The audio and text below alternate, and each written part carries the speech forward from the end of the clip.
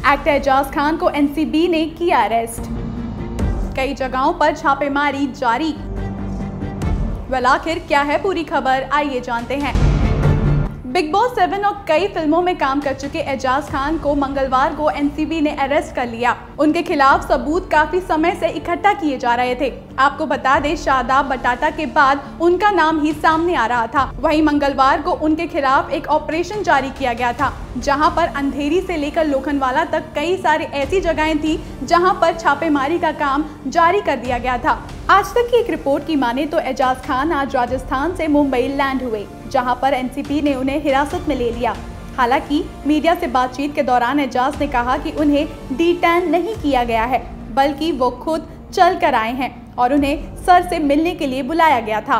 आपको बता दें, इससे पहले उनका नाम तब सामने आया था जब उन्होंने फेसबुक पर एक विवादित वीडियो पर कमेंट किया था।